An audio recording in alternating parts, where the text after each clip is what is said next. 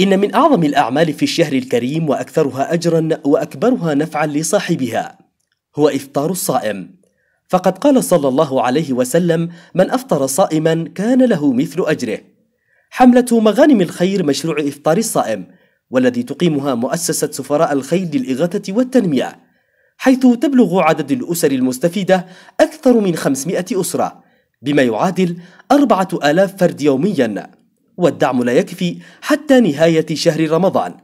لذا ندعو فعلي الخير للإسهام بالدعم المادي أو العيني أو للتواصل على الأرقام أسفل الشاشة أو زيارة مقر التوزيع حوش جمعية العين للمكفوفين شارع المحافظة تحت الحرب للصرافة وكتب الله أجر فاعلي الخير.